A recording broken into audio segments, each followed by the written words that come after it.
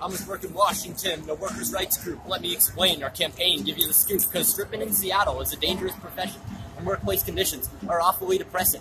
Now think for just a moment and imagine if your daughter was dancing in a club without any running water, paying $200 every night so she can twerk. What is this, feudalism? You shouldn't have to pay to work, so we got a law. And that put the ban on unsafe conditions, but there's more we can expand on. We got panic buttons in the back rooms and a blacklist.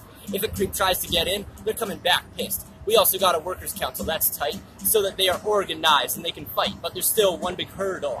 It's those house fees, because workers can fall in debt and can't get out easily. That's when they can get forced into work that's more dangerous that they don't want to do.